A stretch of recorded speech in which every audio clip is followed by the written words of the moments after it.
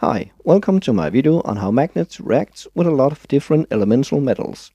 I've made this video because a lot of people seems to know very little about how metals react with a magnet. I haven't been able to afford all available metals yet, but will expand in the future so I can update this video. Some of the metal samples are quite small due to cost, so I will use a magnet of similar size. It is tiny, but has the power to reveal any attraction to the metals. Let's start with a simple one, iron. Iron is ferromagnetic, meaning that it will not only be attracted to a magnet, it can be magnetized in itself. So can nickel and cobalt. Gadolinium is actually also ferromagnetic, but only below 20 degrees Celsius.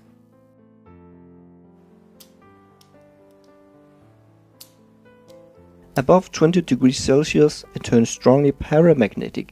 This means it still attracts the magnet, but it can no longer be a magnet in itself.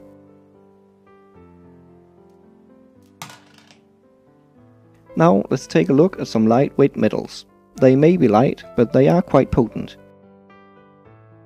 Lithium will etch your bare skin.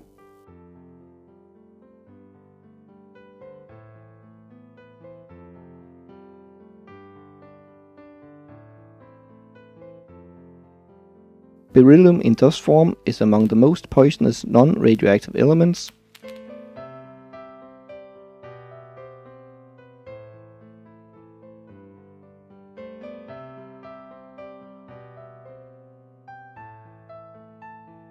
And magnesium will burn extremely hot and bright.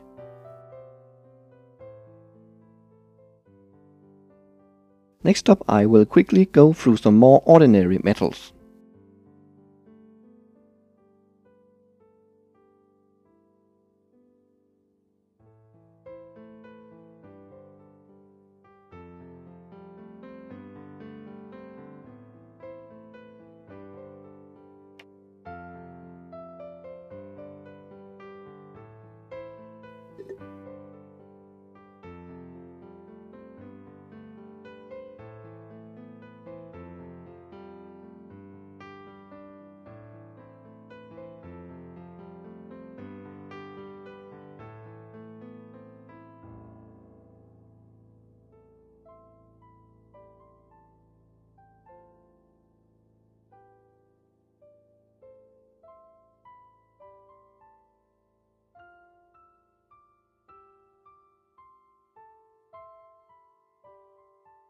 Okay, we are almost a third of the way. These cylinders have the same dimensions, but the weight difference is hard to believe.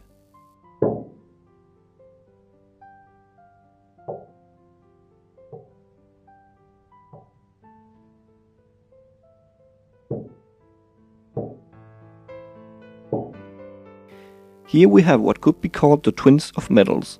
They are very difficult to separate, so zirconium samples will always contain some hafnium and opposites.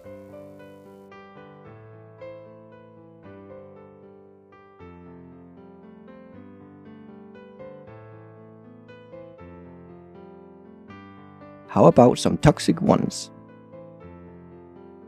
This is mercury with some little glass fragments floating around on it. I haven't figured out how to filter it yet.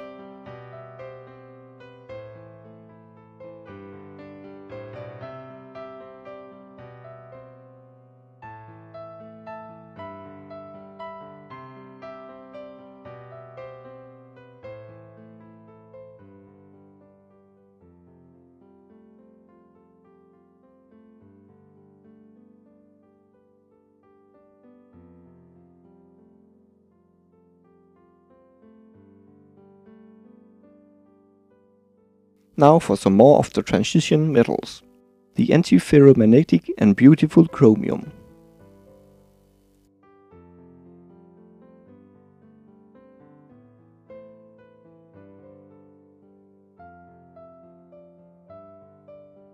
The brittle manganese.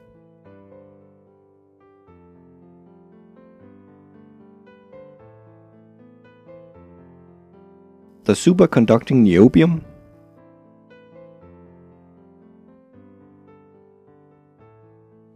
and the hard-to-melt molybdenum.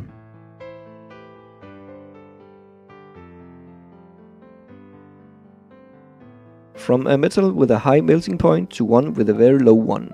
Gallium, known for melting in your hand.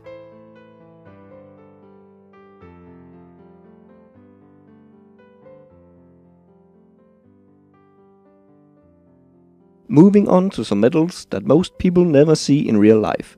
The lanthanides, also known as the rare earth metals.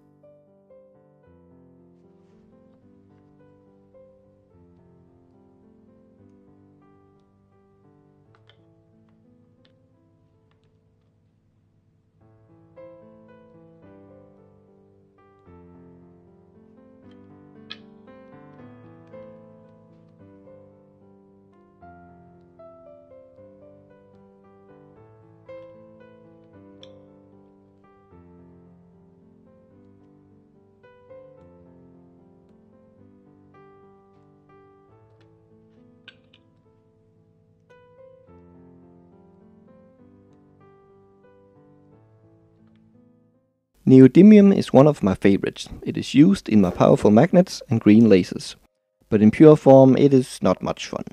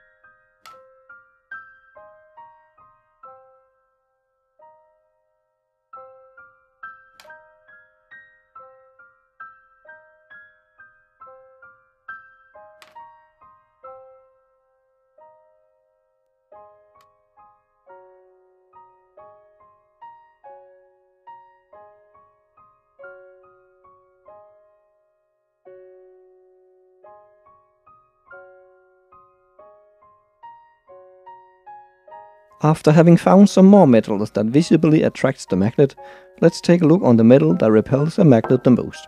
In other words, the most diamagnetic metal, bismuth. It is still a very weak repulsion, but it can be used for diamagnetic levitation.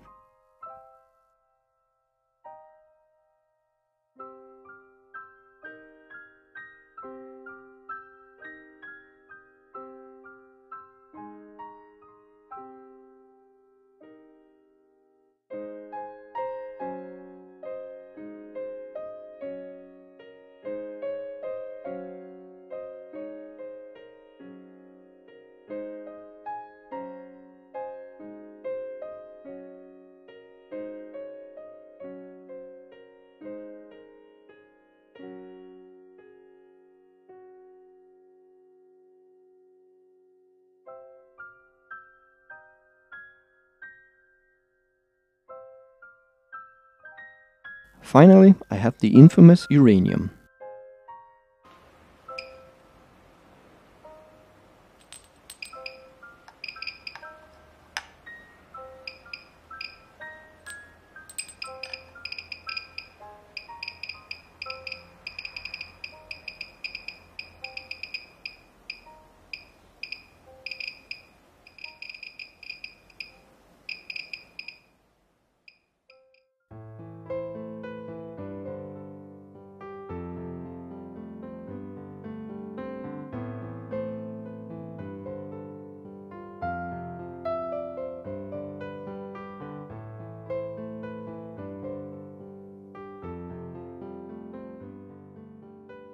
So, the conclusion is that the magnet will stick strongly to 4 of my metals at normal temperatures, but a total of 10 metals can have enough attraction to lift the magnet.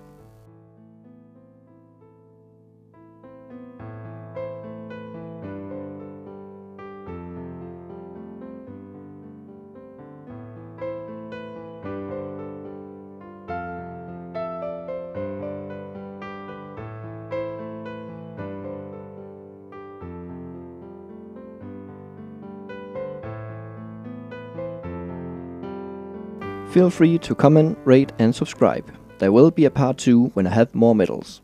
Thanks for watching.